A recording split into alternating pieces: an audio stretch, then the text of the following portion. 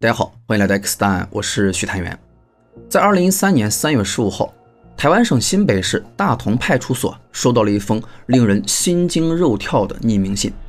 这封信的字迹独特，里面写着：“陈婉婷的尸体在嘉义水上农会旁两百公尺外的公园南侧里，请你好好安葬她，谢谢你，好心人刘。”一开始，警员们只是将这封信视作一场恶作剧。然而，这份不同寻常的信件竟然揭开了一起骇人听闻的凶杀案。此案离奇的是，为何会突然从天而降一位好心人，指引警方去寻找死者的尸体呢？而这位好心人的真正目的又是什么呢？他又是怎么知道陈婉婷的下落呢？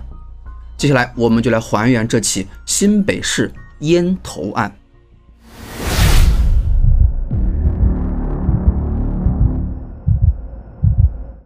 故事发生在二零一三年三月十五号，在台湾省新北市三重区的大同派出所。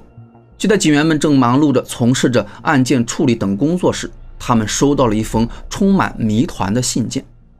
这封信没有署名，信中描绘着一个令人毛骨悚然的画面：在距离二百五十公里外的嘉义水上乡，一个男公厕内隐藏着一具尸体。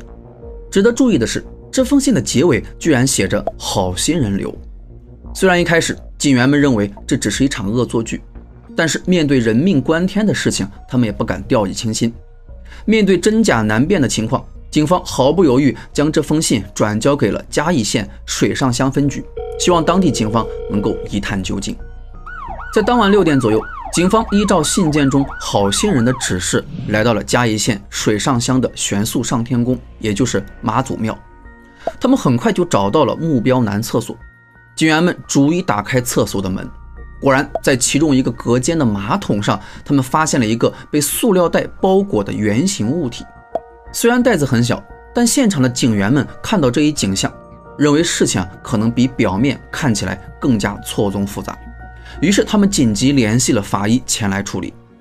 法医开始打开塑料袋，然而里边竟有七层包裹，最外边两层都是大塑料袋，然后是蛇皮袋。外套、T 恤、短裤，最后一层是一个女士内裤。当拆到第三层和第四层的时候，一股浓烈的尸臭味扑面而来。最终，当拆到最后两层时，法医惊讶地发现，里边竟然覆盖着大量的盐巴，而在盐巴下边是一颗头颅。这颗头颅的双眼凹陷从下颚被残忍地切断，整颗头颅有被冷冻过的痕迹。然而，在这颗可怕的头颅旁，还有一张纸条，上面写着“三重陈婉婷”。这张纸条上的名字与大同派出所那封匿名信中的名字一致。警方迅速查询了失踪人口的档案，发现全台湾省竟有六十四位名叫陈婉婷的人曾报失踪。然而，通过法医对头骨的初步判断，死者的年龄大致在三十至四十岁之间。而在三重区报失踪的两名陈婉婷中，其中一个恰好是三十六岁，符合头骨的信息。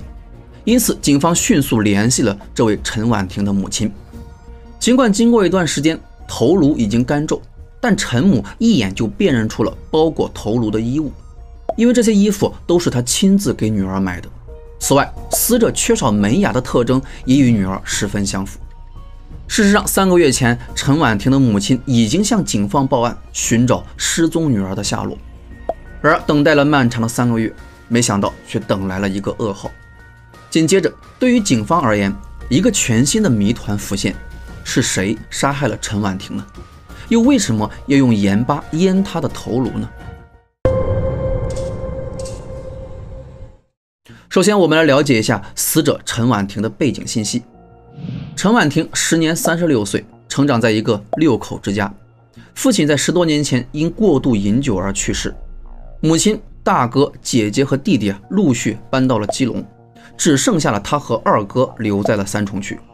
陈婉婷容貌出众，大眼睛，从小学到高中，她都是校园里的焦点，追求者众多，甚至还有经纪公司的人找上门，希望她能够拍摄广告。然而命运多舛。十五岁时，他开始与社会上的一帮朋友混在一起，每天沉迷于抽烟、喝酒、逃学，甚至还染上了吸毒的恶习。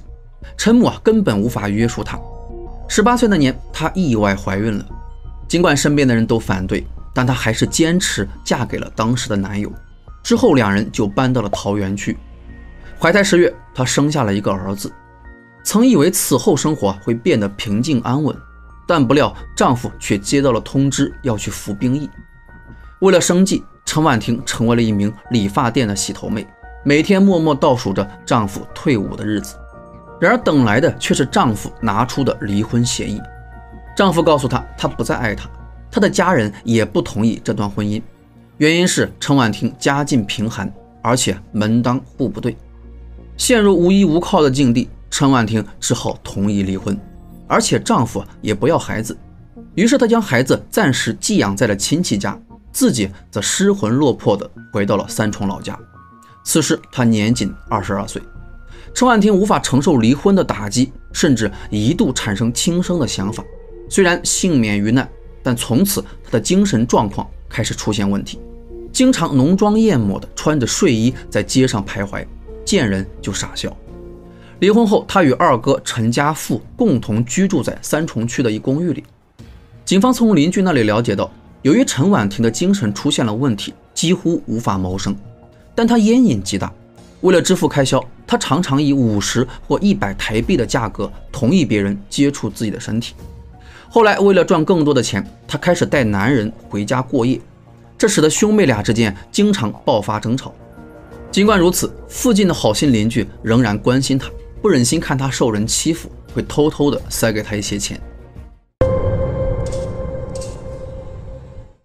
当警方获得这些关键线索后，立即开始调查与陈婉婷有过关系的人。同时，警方还在包裹头颅的内裤上检测到了至少有两个人的精液。但由于陈婉婷经常在外游荡，结识了很多人。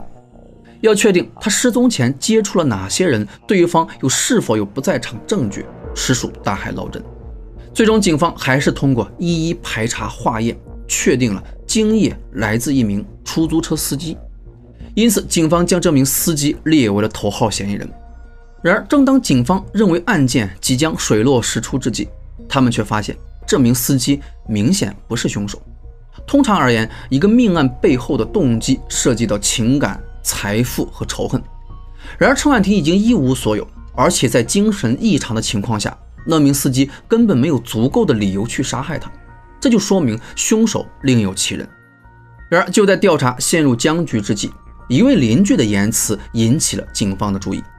警员在走访调查时，一些邻居听说死者是陈婉婷时，并没有流露出太大的惊讶。然而，当警察给他们看照片时，大部分人会指着照片说：“这不是阿慧吗？她什么时候改名了？”这一情况引起了警方的疑惑。警方询问了陈婉婷的母亲，才得知，在女儿离婚后，为了改变她的命运，母亲将她的名字从陈淑慧改为了陈婉婷。然而，周围的邻居并不知情，因此许多人还是称呼她为阿慧。了解了这一情况后，警方的思路开始有了转变。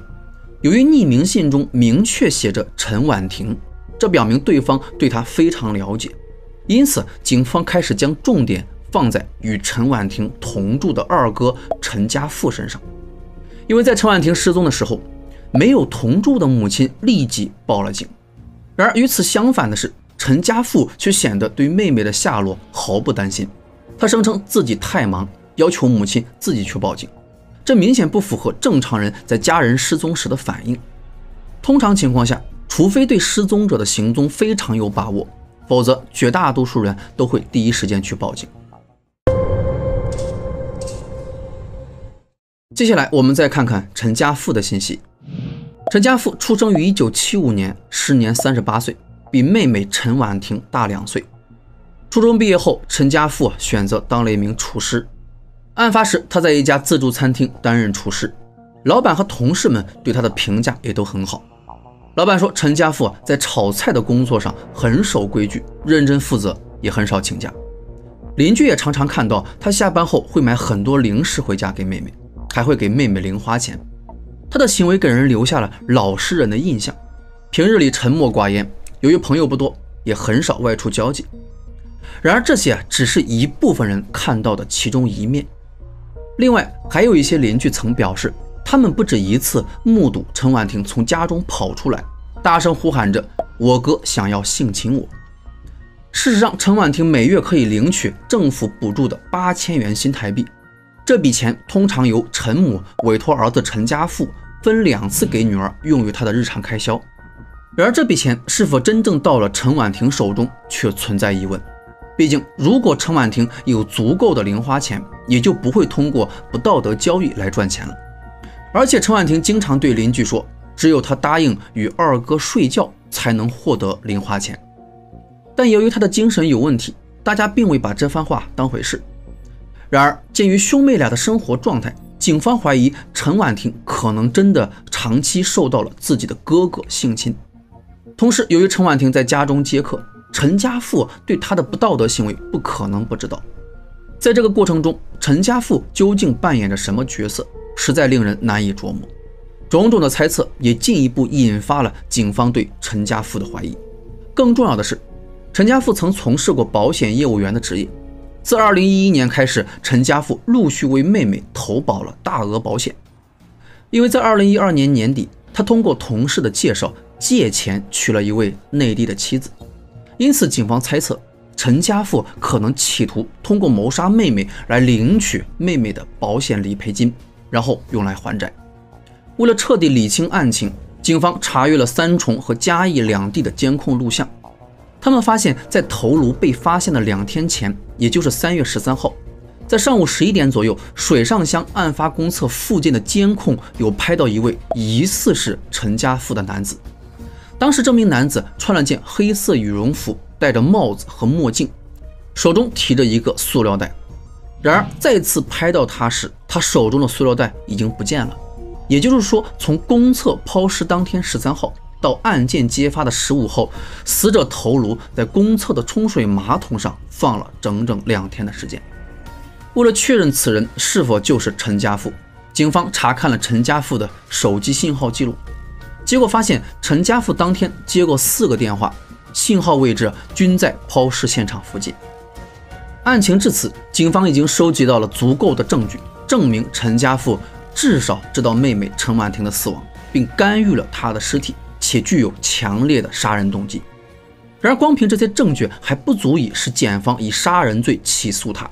原因在于，这些证据只能证明陈家富涉嫌破坏陈婉婷的尸体，而不足以证明他就是凶手。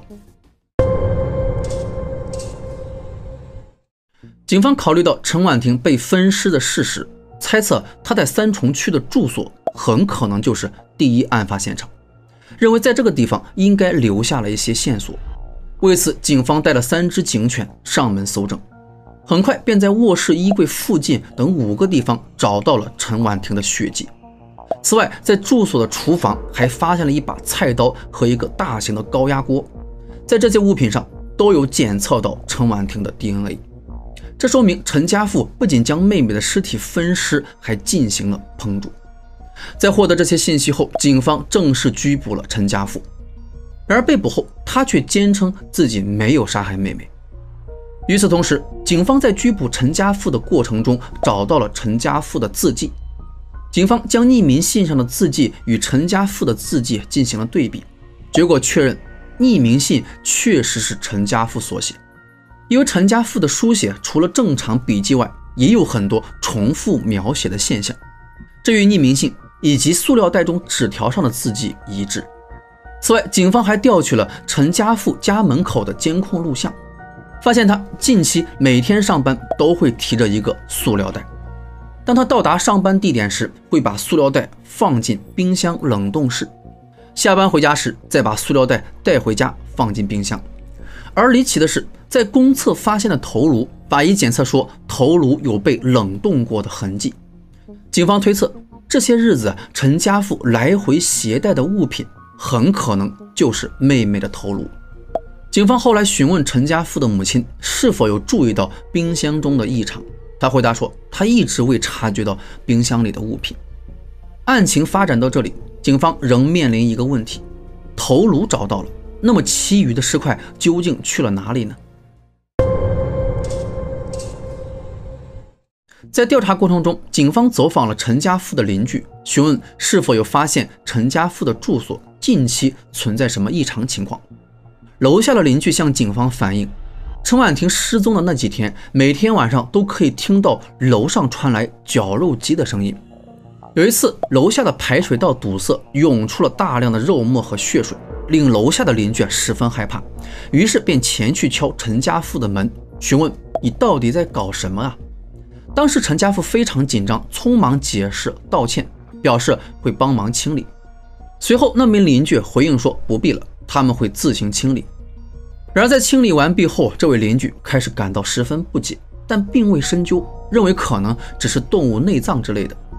后来，警方开始认为陈家富有可能将陈婉婷的尸体打成肉末，然后排入下水道。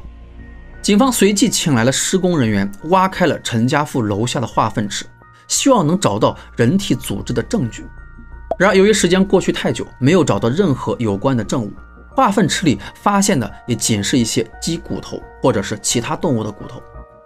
当警方将这一系列的线索汇总，案情进展已经十分明朗。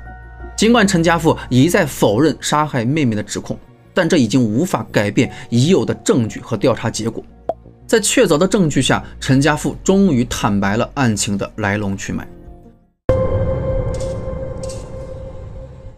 在二零一二年十二月九号清晨，陈家富多次被妹妹的电话吵醒，原来是陈婉婷要与一名男客交易的消息。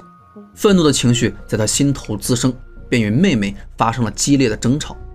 恰巧当天下午，陈母曾探访过女儿，依照母亲的习惯，未来几天她都不会再来。于是陈家富在那个夜晚决定行动，将妹妹勒死，并割下了她的头颅，用盐巴进行覆盖，以延缓腐烂速度。他将尸体冷冻，并借助绞肉机将尸块粉碎，一部分通过下水道排放，另一部分则丢弃在外边。令人震惊的是。陈家富将妹妹在生前进行交易时沾有多名男子精液的内裤包在外层，故意引起警方的注意，试图误导警方将调查方向引向奸杀。至于为什么陈家富要通过匿名信的方式将尸体主动自曝给警方呢？这是因为截止陈婉婷失踪之前，他为妹妹总共购买了五份保险，保额总计有一百五十八万人民币。受益人分别是他和母亲。如果陈婉婷持续失踪，陈家富将不得不等七年时间才能获得保险理赔金。只有将妹妹的死讯揭示给警方，他才能迅速的获得理赔金。随后，陈家富在内地的妻子刘女士也向警方提供了一项重要的信息，使案情更加的清晰明了。他透露，自2012年12月30号他来到台湾时，陈婉婷。已经不见了踪影。不过他当时留意到家中确实有一台绞肉机。然而，虽然他没有亲眼见过陈婉婷，但在婚前，陈家富曾向他讲过与陈婉婷同住的情况。他描述陈婉婷吸毒喝酒，交友不慎，形容他不是个好东西。然而，当刘女士于十二月搬到台湾并询问陈婉婷时，陈家富镇定地告诉她，妹妹走丢了。得知陈婉婷失踪后，刘女士的反应与正常人无异。她建议丈夫立即报警，然而丈夫却不耐烦地拒绝了她的建议。随后，在三重区的住所中，她闻到了一股难以忍受的异味，但陈家富却解释那是楼下小吃店的排烟味儿。刘女士提出要对房间进行大扫除，但遭到了陈家富的拒绝。丈夫从热情到冷漠，这让刘女士感到十分困惑。在刘女士的印象中，陈家富对她唯一感兴趣的似乎只剩下了一件事，那就是为她办理保险。直到案件曝光的前半个月，也就是二零一三年二月二十八号，刘女士正在家中打扫卫生时，在冰箱最深处发现了一颗冰冻的人头。他非常害怕，但没有敢发声。他欺骗陈家富说，他老家亲人去世，然后就连夜离开了住所，返回了内地。事后回想起这一幕，刘女士依然心有余悸，耳边回响着：“我能给你买份保险吗？”接下来，我们就看看陈家富会面临怎样的审判。在审判中，陈家富竟开始装疯卖傻，声称他大脑内被外星人植入了晶片，而且外星人正在使用激光追杀他，强迫他犯下了罪行。甚至在法庭上，他不时的还口吐白沫，晕死过去。然而，陈家富的母亲在庭审中提出，他的家族确实存在精神疾病的遗传史，大儿子也一直在服用精神药物。此外，陈家富也提供了一份自己的精神疾患的证明。尽管如此，法官仍将他送往了台大医院进行精神鉴定，结果显示陈家富并没有任何异常。检察官认为他只是在装疯卖傻，试图逃避死刑，而且在关押期间，他在监狱中的表现也与正常人无异。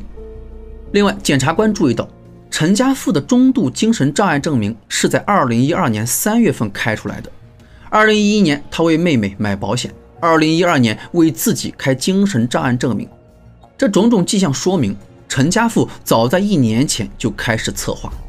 考虑到有被抓的可能性，所以才开了精神障碍证明。随后，检方将所有证据提交至法庭，希望能够判处陈家富死刑。然而，陈家富的母亲一直在为他求情，称他特别孝顺。作为既是被害人家属又是凶手家属的陈母，他说两个孩子都是他怀胎十月生下来的。虽然他舍不得，但事情已经发生了，还能做些什么呢？他表示自己已经失去了一个女儿，不能再失去儿子，希望法官能够原谅阿福，给他一个改过的机会。到了二零一五年四月三十号，最终法官考虑了陈母的请求。尽管陈家富犯下了杀人罪，手段残忍，但法官考虑到他的母亲刚刚失去一个女儿，即将失去另一个儿子，恐怕他会难以承受更多的痛苦，因此陈家富最终未被判处死刑。而是被判处了无期徒刑。然而，审判结果一经发布，众人普遍觉得判决过于宽容。如果陈家富真的是一个孝顺的儿子，对家人看重，那么他又怎么可能因为保险理赔金而残忍地杀害自己的亲妹妹呢？可怜的陈婉婷命运多舛，先是承受了婚姻的破裂，接着陷入了精神错乱之中，然而最终却命丧于亲哥哥的魔爪。陈家富以虚伪的面具把自己伪装成了孝顺老实人的形象，甚至在匿名信中写下“好心人留”。我们很难理解究竟是怎样的人在对待亲人时竟能如此残忍冷漠，然后还自称是好心人，而好心人的背后竟是丑陋的人性、利益和自私。或许我们无法想象精神错乱的陈婉婷，在她生命的最后时刻究竟经历了怎样的惊恐和绝望。最后，希望大家都能够更多的关爱和呵护身边的人，尤其是那些患有精神障碍的人，因为他们比一般的人更需要我们的理解和关怀。好了，本期视频就到这里，聆听他人故事，体悟你我人生。我是徐探员，我们下期见。